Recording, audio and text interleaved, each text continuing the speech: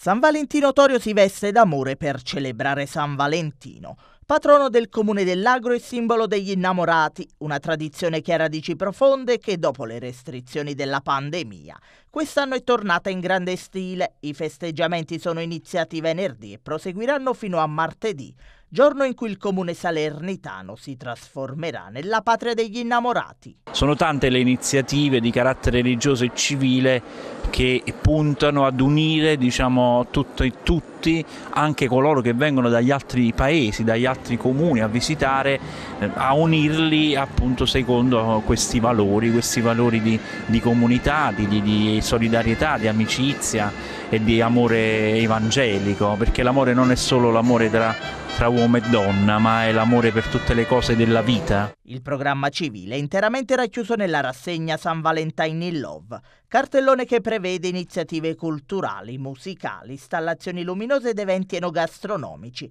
con la polpetta di Pastenaca assoluta protagonista, ma chiaramente ci sarà spazio anche per le celebrazioni religiose in onore di San Valentino. Dopo gli anni che abbiamo vissuto della pandemia e le chiusure relative al Covid-19 oggi possiamo riprendere in bellezza anche questo momento di festa e soprattutto momento del popolo